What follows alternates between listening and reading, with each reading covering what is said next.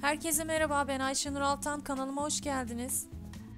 Kek Evi Mutfağı'nda bu bölümde bol portakal aromalı damla çikolatalı çay ve kahvelerinizin yanında ikram edebileceğiniz harika bir kurabiye yapıyoruz. Bu kurabiyeleri hazırlayıp hafta boyunca taze bir şekilde tüketebilirsiniz. Çok dayanıklı. Hamur yoğuracağım kapta oda ısısında beklemiş tereyağım var 125 gram kadar. 1 su bardağı pudra şekeri ve portakal kabuğu rendesi ilave ediyorum. Ben daha önce sizinle paylaşmıştım. Yediğimiz portakalların kabuklarını önceden ince rendeyle rendeleyip şekerle karıştırarak saklıyorum ve bunları kullanıyorum. Buzdolabında rahatlıkla saklayabilirsiniz şekerle karıştırdıktan sonra. 3-4 yemek kaşığı da zeytinyağı ilave ediyorum ve adeta bir krema kıvamına gelene kadar hepsini birlikte karıştırıyorum.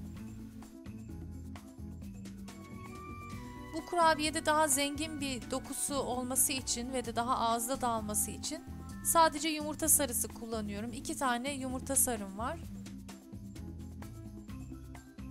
Kuru malzemeleri artık ekleyebiliriz güzelce karıştığına göre.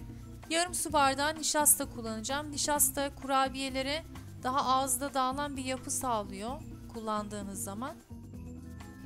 2 bardak kadar un ve üzerine de bir çay kaşığı karbonat ilave ediyorum.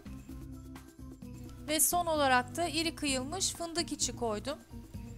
Yarım ila bir su bardağı arası koyabilirsiniz. Ne kadar koysak lezzet verecektir. İsterseniz ceviz de olabilir.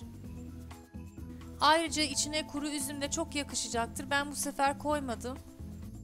Ve elimle bastırdığım zaman güzel şekil alabilen, çok ama yumuşak olmayan ki dağılmasın, yayılmasın piştiği zaman daha doğrusu.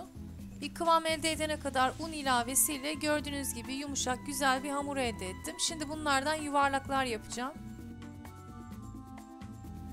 İstediğiniz büyüklüğe göre ufak veya büyük hazırlayabilirsiniz kurabiyelerinizi tabii ki. Tüm hamura şekil verdikten sonra bir bardağın tersiyle ben ölçü kabımı kullandım. Bir miktar bastırıyoruz ve yassıltıyoruz. Bu arada kenarları da hafif çatlayacak ve kendine az güzel bir görüntüsü olacak. Ben bir kısmını da çatalla iz yaparak bastırdım.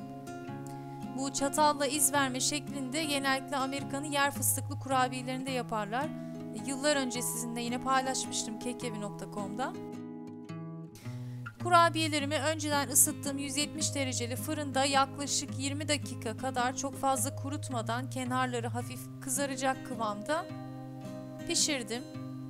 Gördüğünüz gibi kenarları hafif kızarmış ama orta kısmına bastırdığımda hala çöküyor. Zaten soğurken de sertleşmeye devam ettiği için çok fazla pişirmemeye özen gösterin içinin yumuşak kalması için. Ve hemen sıcak sıcak üzerine bolca damla çikolata batırıyoruz. Onlar e, içine yerleşirken hafif de eriyecek ve birleşecek çok güzel bir görüntü oluşuyor gördüğünüz gibi. Tepsiden hemen tel ızgaraya aktardım ki altından da hava alıp soğusun ve tekrar tepsinin ısısıyla sertleşmeye devam etmesin. Mis gibi portakal kokulu damla çikolatalı kurabiyelerimiz hazır. Farklı malzemeler de içine eklenebilir. Çok güzel bir dokusu oluyor kurabiyenin. Siz mesela ne eklemek isterdiniz farklı olarak yorumlarda belirtin. Deneyecek olanlara şimdiden afiyet olsun. Bunun gibi yüzlerce tarif için beni YouTube kanalından takip etmeyi unutmayın. Yeni tariflerde görüşmek üzere. Hoşçakalın.